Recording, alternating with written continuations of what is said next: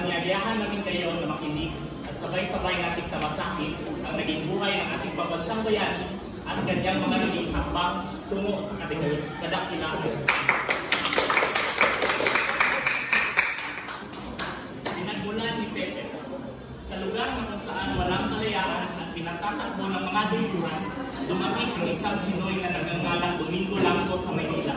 Dahil sa reputasyon ng mga dayuhang Kastila na lahat ng mga dayuhan ng dapat na magtaglay ng Kastilang apelido, napilitan siyang palitan ng kanyang apelido ng Delgado. Dito sa Maynila ay kanyang natagpuan ang kanyang kabiyak na si Ines de la Rosa at sila ay nagkaroon ng isang anak na lalaki na nagngangalang Juan Mercado. Si Juan Mercado ang naging esposo ni Cirila Alejandro at ang kanilang pagmamahalan ay nagbunga ng labing tatlong anak. Isa na nga rito ay si Francisco Mercado na siyang bunso sa labing tatlong anak. Kabilang dako naman, si Manuel de Quintos ang naging asawa ni Regina Ursua kung saan sila ay nagkaroon ng anak na babae na nagngangalang Brigida de Quintos. Si Brigida ay nagkaroon ng kabiyak at ito ay si Lorenzo Alberto Alonso na kung saan sila ay biniyayaan ng dalawang anak at isa na rito si Teodora Alonso Realonda. Si Francisco at Teodora ay nagkakilala. Niligawan ni Francisco si Teodora at palagi niya itong pinadala sa kanilang bahay.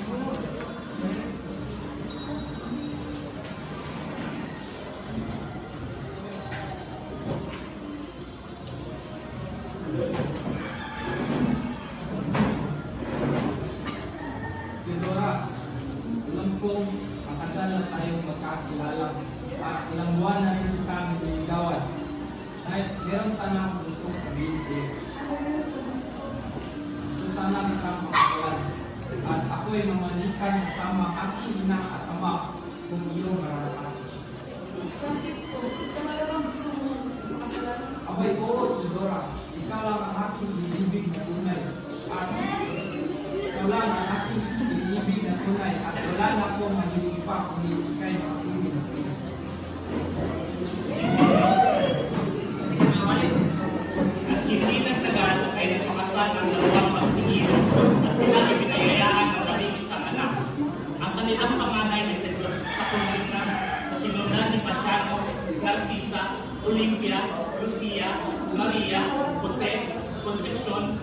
Josefa, Trinidad at Soledad, ang bunso sa labing isang anak. Si Jose Protasio o Pepe ay ang ikamitong anak ng mag-asawa kapanganakan ni Rizal. Sa isang maliwanag na gabi, ang buwan ay kailawak at nakakaakit ng pansin. Isang sanggol ang isinilang at nakapita daga ng lahat ang kaibahan niya. Mayroon siyang napakalaking ulo na naging kilala sa kanyang bayan. Ang bata ay pinangalanan nilang Jose Protasio na mas kilala sa tawag na Pepe.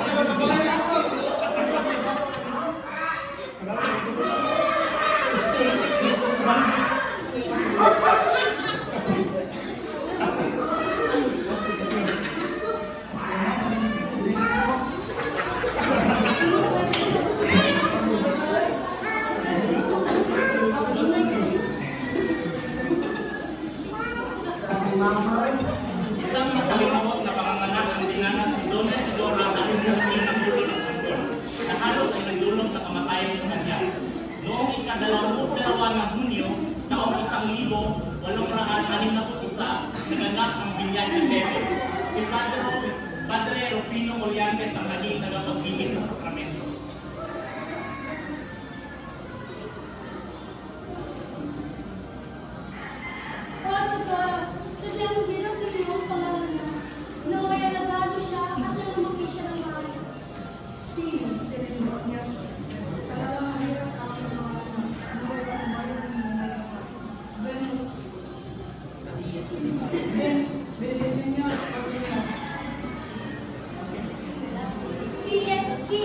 Lord, if they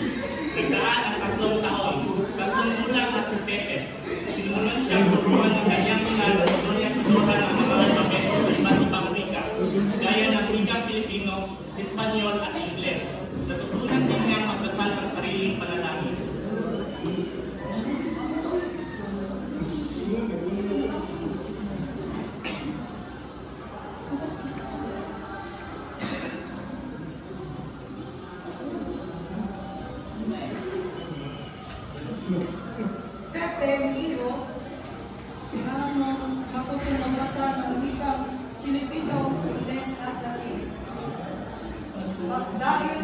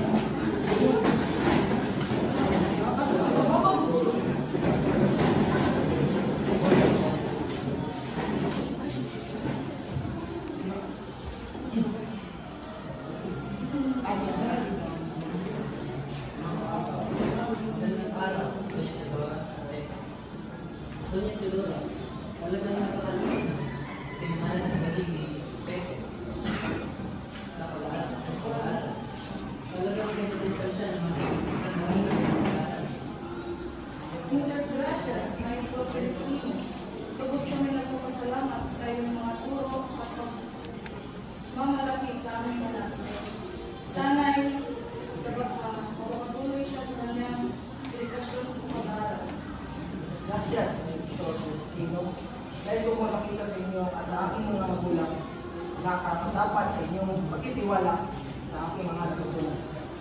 Establish yung natutunan. Mabilis matutunan.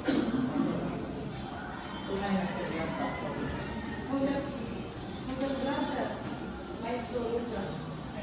Ang kanyang maraming salita, ang kanyang ang matutunan sa malaki na pagulat. Lubos kami nagkakasalamat sa iyo. Muchas gracias, maestro Lucas.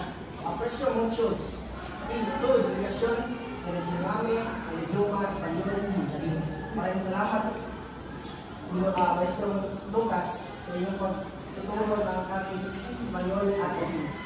Maraming salamat. Maraming.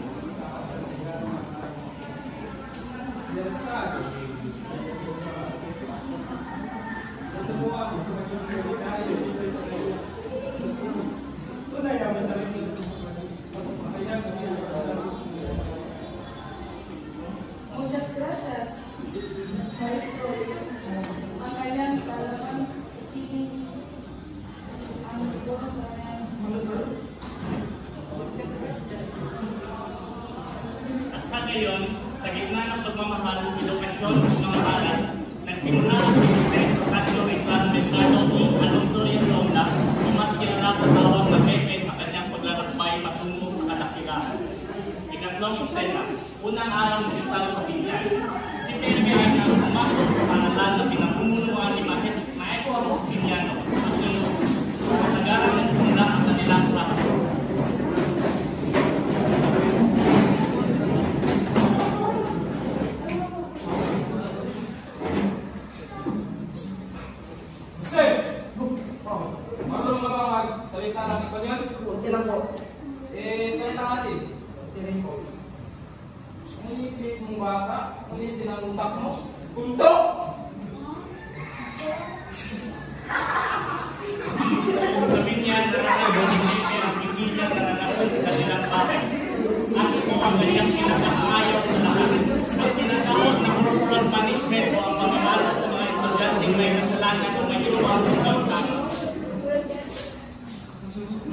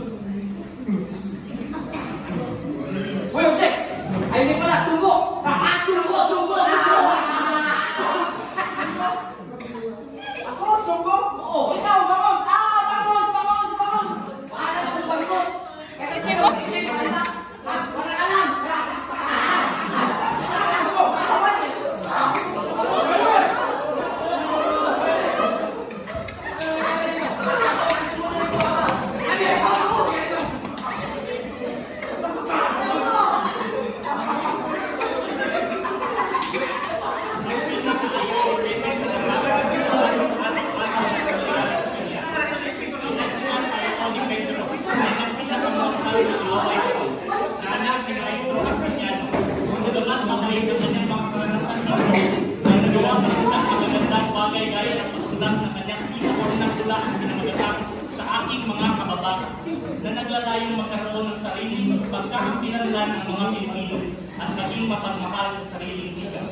Bilang si Leve ay magpatuloy sa pag-aaral sa Binyan ng isang taon ng kalahati, siya ay nangyari sa lahat ng mga kabataan at taga-Binyan sa pang-akademiko.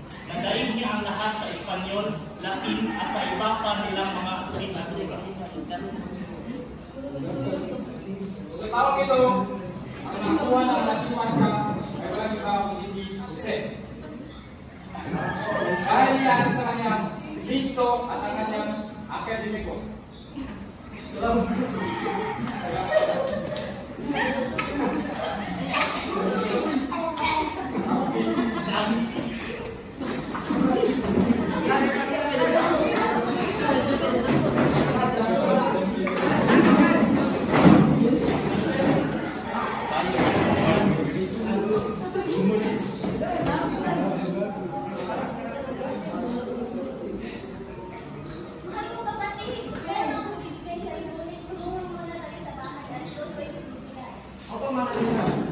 bago tayo pumunta sa bahay, ay pumunta ko muna.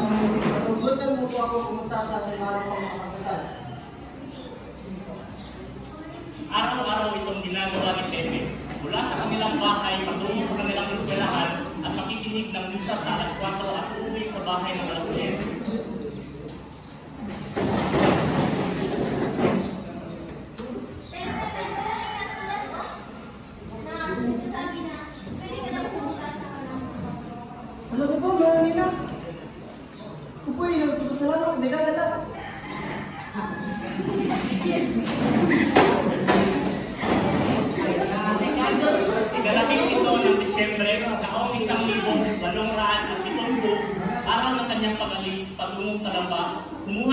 ng bato sa ilong at itinabi ito.